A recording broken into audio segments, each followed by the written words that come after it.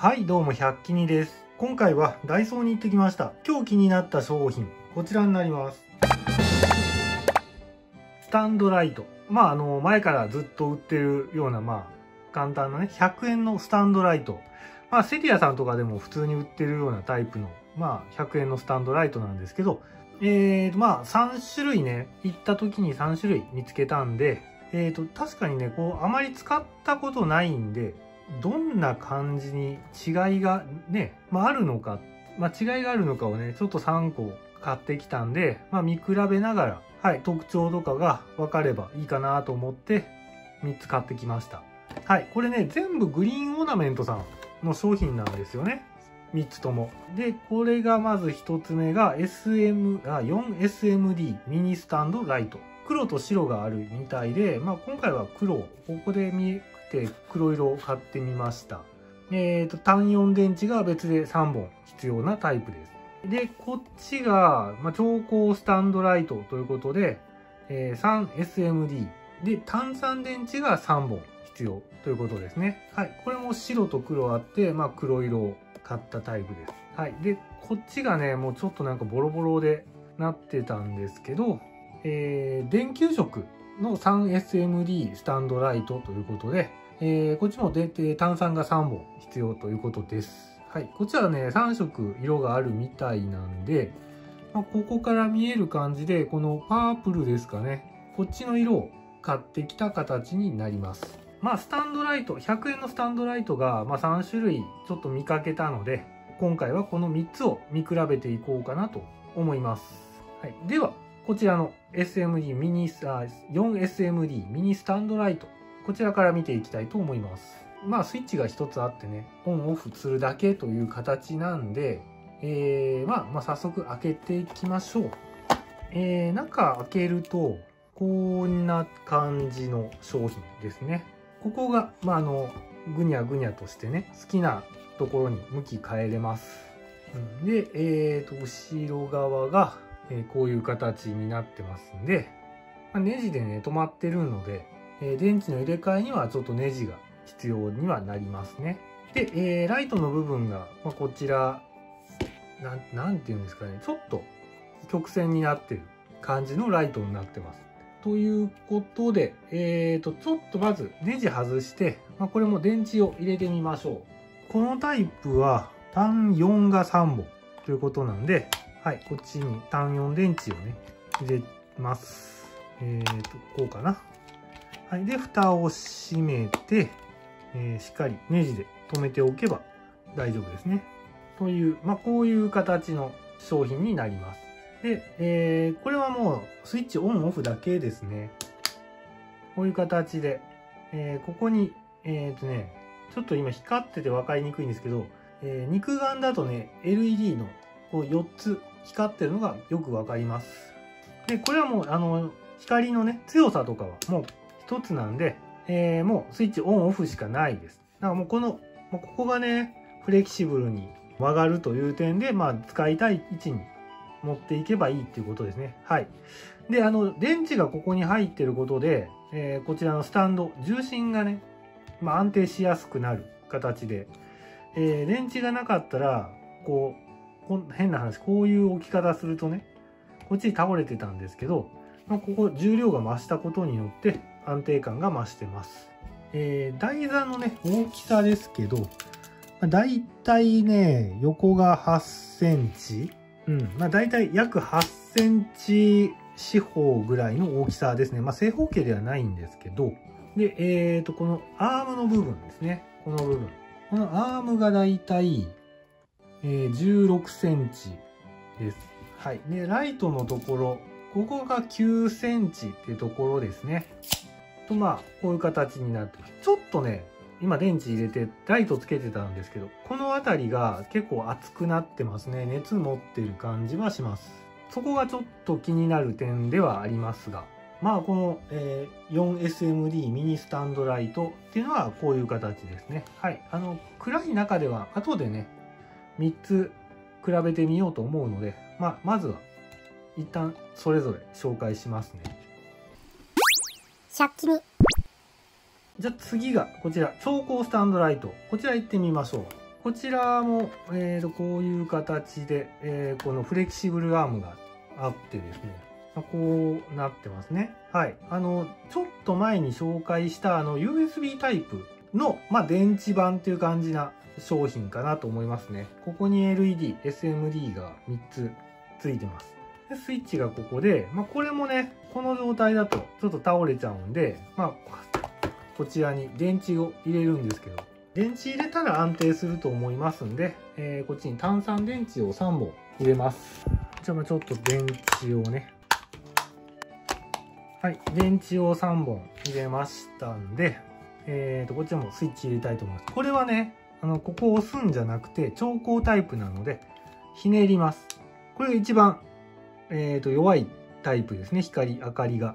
で、これを、つまみをね、右に回していけばだんだん明るくなって、一番明るいのでこのタイ形になりますね。で、また戻せば、だんだん暗くなって、カチッと言えばどこまで行けば消えます。で、えー、こちらもサイズですけど、まず土台の部分が、一番広いところで、そうですね、約7.5センチぐらいですね、約。で、一番、長い、こちらの寸法でだいたい8センチぐらい。で、アーム、このフレキシブルアームが約18センチというところですね。で、えー、あとこの照明部分ですね。ライトのところ。えー、これも一番、えー、大きい幅のところで5センチ、えー、の5.5っていうところですかね。まあ、これもあの、アームがね、まあ、こういう、えー、フレキシブルに曲がるタイプなので、まあ、使いたいところに自由に設置ができる。で、あとは調光機能がついてるので、こちらは。まあ、明るさは自分で調整ができるっていうのがポイントですね。まあ、これは、電池版の、え前回した USB のまあ、タイプの電池版っていう感じは若干します。はい、ではもう一つ最後いきましょう。えー、最後がこちらの、え、スタンドライト電球型あ電球色ですね。こちらもまあタイプは一緒だと思うんでまあ早速開けちゃいます。えーとこちらがまあ色はパープルのカラーですね。はい。で、えー、まあ広げてしまうとこういう形でえー、もう見た目はね、さっきのこの調光タイプと同じですね。だからスイッチが違う感じにはなります、まず。えー、裏も一緒だと思いますので、形状が一緒で、えーとまあ、色合いが違いますけど、それ以外はこのつまみがあって調光ができるかっていうのと、まあ、つまみがなくボタン一つで色が電球色になるということみたいなので、まあ、こちらもちょっと電池をまず入れますね。はい、えー、こちらが電池を入れたので、まあ、ここもね、電池の入ったおかげで、この台座の部分のね、重心が安定しますんで、こっちね、どこに、まあ、角度変えても倒れることはほぼないかなと思います。では、スイッチを押します。はい。こちらはやっぱさっき言ったように電球色なんで、ちょっとオレンジがかったカラーリングですね。ライトの色合いが。そうですね。だか形はね、こちらと同じなんですけども、まあ、色合いが違うし、調光がないっていうタイプで、これも置いてありました。で、これもスイッチオンオフしかないので、切り替えだけという形になります。これもまサイズだけ測るとですね、一番長い、まあ、太いところで、まあ、約7.5センチの横幅と、えー、縦が8センチ。で、アームの長さが約18センチ。はい。で、えー、照明の部分も一番広いとこで、まあ、約5センチと5.5センチですね。えーと、では、えー、こちら今ね、3タイプ今回紹介してますので、まあ、ちょっと暗い中でどんな明かりになるか見ていこうかなと思います。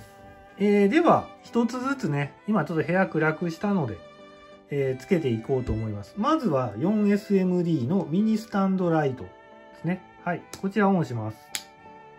えー、こちらが、まあ、4SMD ミニスタンドライトの方ですね。これが明かり、こんな感じです。まあまあ明るい。明るいのは明るいですよ。やっぱり。はい。で、次がこちら。これが調光タイプですね。これもつけちゃいます。はい。で、こう、全全開でつけると、まあ、こういった形です。で、こっちが最後、電球色ですね。はい。まあ、こういう色合いになっておりますんで、まあ一つずつつけましょうか。まず、えー、まあ最初の 4SMD ミニスタンドライトがこちらの明かり。手のひらをね、真下に持っていくと、まあ、こんな感じでちょっと光った感じに映りますね。えー、次が真ん中。調光タイプですね。いきます。これが一番暗い形の、まあ、調整ネジ。一番端っこですね。左。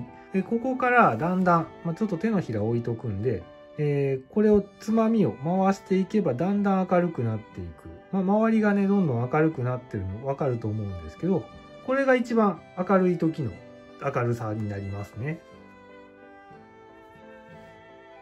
はい。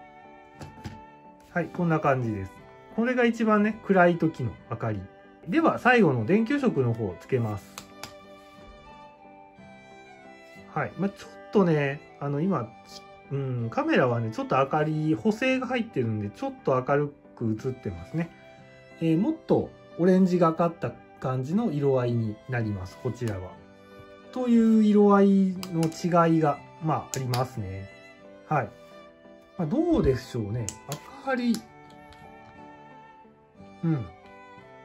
えー、今、3つね、比べてみたんですけども、ま、明かりだけでいけば、結構この、こっち、一番、一番最初の 4SMD ミニスタンドライト。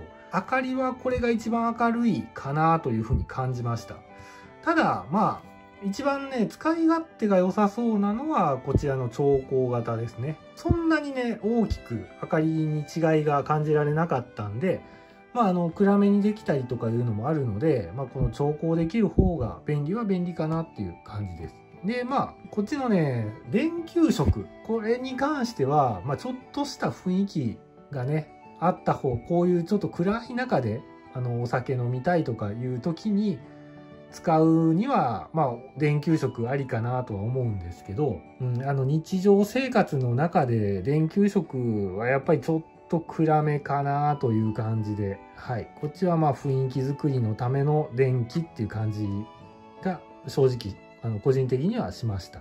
で、やっぱ明るい、まあ、えー、炭酸、炭酸、単4なんで、電池のね、容量的にはま炭酸のこっちの2つの方が大きいかなとは思うんですが、こっちが明るいなと思ってはいたんですけど、やっぱり、あの、こっち、パッケージ見てもね、こちらの、えっ、ー、と、4SMD で一番最初に紹介した方は、連続使用時間が約4時間なんですね。はい。意外に短いんですよ。はい。で、他の2つが、えー、こちら、調光の場合、まあ、連続約19時間。で、えー、こちら、電球色。こっちも連続点灯が約24時間という形なんで、まあ、やっぱりね、ちょっとこっちの、このタイプが、まあ、4時間しか使えないっていう点、正直ね、容量使ってるのかなと思うぐらい、この、で、電球部分がね、結構熱を持つんですよ。さっきも使ってて思ったんですけど。あとのね、2つはそんなに熱持たないんですけど、こいつは結構熱持ちます。だからそこがね、まあ、よくあ、より明るく感じる、よりね、強力に照射してるのかなというふうには思うんですけど、まあ、時間、使用時間考えても、この3つの中で一番実用的なのは、やっぱり個人的にはこの調光のタイプ。これが一番まあ使い勝手はいいんじゃないかなというところですね。まあ、あとはね、これが電池式じゃなくって、まあ、充電式であったり、まあ、え、ちょっと前に紹介したようにね、給電もできて、充電も、あ電池も使えるっていう、まあ、それぐらいのタイプだったらもっと使い勝手はいいでしょうね。まあ、ただ値段は上がってくるんだと思うんで、まあ、100円のスタンドとしたら、個人的にこの3つから選ぶんだったら、こちらの調光タイプですね。こちらがまあ一番えっ、ー、とまあ、使用時間も含め、明るさを含め、いいんじゃないかなというふうに感じた商品になります。まあ、あの、まあ、今さっき見ていただいたように、明かりのね、雰囲気だけでしかちょっとわからないですけど、購入される時の参考になればいいかなというふうに思っております。えーと、こちらですね。先ほど言って最初に言った 4SMD ミニスタンドライト。えー、こちらがジャンコードになります。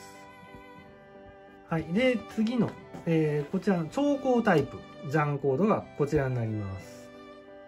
で、最後の電球色ですね。ジャンコード、こちらになっております。えっ、ー、とね、すべてね、今回はダイソーさんで買ってきたんですけども、まあ、おそらく、というかまあ普通にセリアさん行っても、あの、置いてますんで、まあ、100円ショップ行って、グリーンオーナメントの、まあ、ライト探すときに、まあ、スタンド型のね、こういうライトを買おう、えー、購入しようと思うんであれば、はい。まあ、今見た違いがありますということになりますんで、個人的にはこのやっぱりね、調光できるこちらのタイプがおすすめかなと思いますね。じゃあ、えー、今回はこの辺で、また気になる商品見つけたら紹介したいと思います。それでは。